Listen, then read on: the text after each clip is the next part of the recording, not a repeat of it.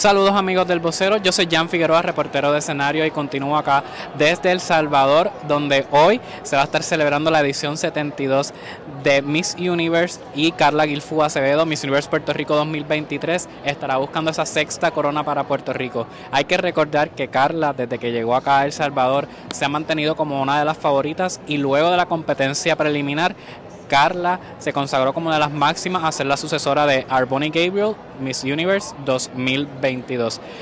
Eh, hoy nosotros pudimos presenciar parte de los ensayos que tuvieron las candidatas desde temprano en la mañana y la realidad es que Carla se veía muy tranquila, confiada y transmitiendo mucha, mucha paz.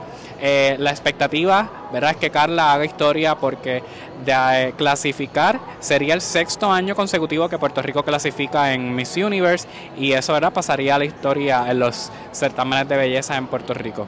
De otro lado, ¿verdad? La expectativa también es que Carla logre esa sexta corona para la isla, ya sabemos que va a cambiar su traje eh, de gala, de pasar al, a la ronda ¿verdad? de las 10 finalistas.